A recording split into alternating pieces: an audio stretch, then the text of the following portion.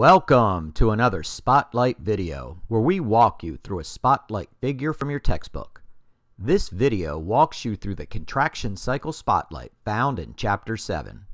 After watching this video, you should be able to describe the contraction cycle of muscle. This is important for understanding how skeletal muscle works.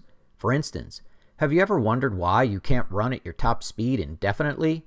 Or why rigor mortis occurs in a dead body? The contraction cycle begins when the nervous system activates the release of calcium ions from the sarcoplasmic reticulum. The calcium binds to troponin, a protein in the troponin tropomyosin complex.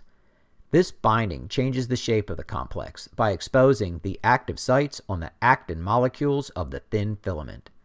Now that these sites are available, myosin heads of the thick filaments bind to them, forming cross bridges.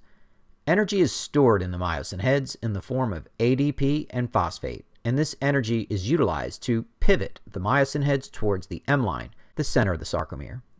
As this power stroke occurs, the myosin heads release ADP and phosphate. A new ATP molecule is then required to disconnect each myosin head from the active site, detaching the cross bridge. This new ATP molecule is quickly split into ADP and phosphate, re energizing the myosin head for another cycle. As long as calcium ions and ATP are both present, the contraction cycle continues and can occur many times each second. In summary, the contraction cycle is a coordinated series of steps that begins with calcium ions binding to troponin and exposing the active sites of the actin filament.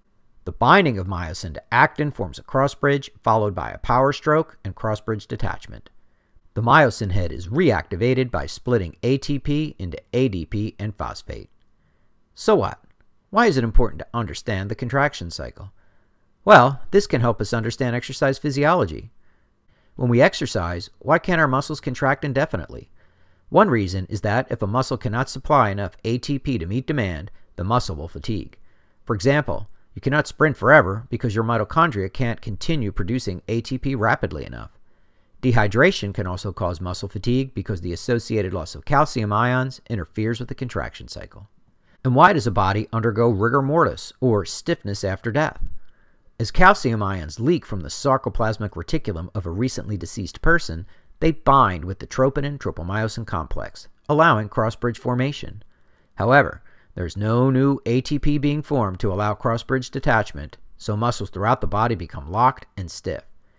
Rigor mortis generally appears about four hours after death and can be used to determine time of death and whether the body has been moved after death.